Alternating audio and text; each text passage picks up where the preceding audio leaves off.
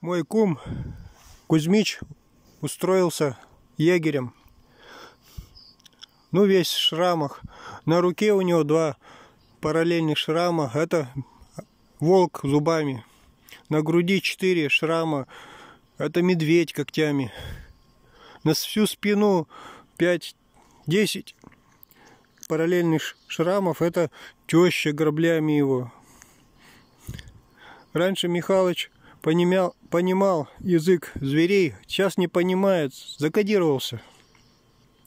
Не поет, не пляшет, голый по лесу, не инспектирует. Короче, рутина. На днях к ему в охот хозяйства прибыла группа немцев, 8 голов. Ну, провели инструктаж, дали ружья, пошли. Охота началась удачно для Кринписа. После того, как Ганс 30 раз стрелял зайца, стало понятно, что косой в косого не попадет. Никогда.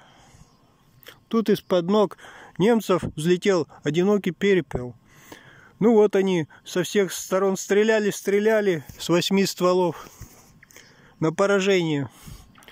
Тоже перепел был поражен такой стрельбой, понятно сразу, потому что улетая, он всех обосрал с ног до головы. Когда мы вернулись в лагерь, у нас из трофеев был только перепел, только умер от поноса. Чтобы подбодрить немцев, я немцам рассказал, как нужно охотиться на зайцев с кирпичом. Ну, кладешь на зайчью тропу кирпич, посыпаешь его перцем. Заяц такой на-на-на и бежит такой. Увидел, думает, морковка. Нюхает его. Перец попадает ему в нос. Заяц чихает, ударяется лбом об кирпич и умирает. Немцы послушали историю с каменными лицами. На следующий день с немцами выдвинулись утречком с полными рюкзаками – Через каждые пять минут немцы просили привала. На седьмом привале я потребовал объяснений. Они сказали, что рюкзаки у них полные перцы и кирпичов. Избавившись от стройматериалов, с немцами пошли дальше.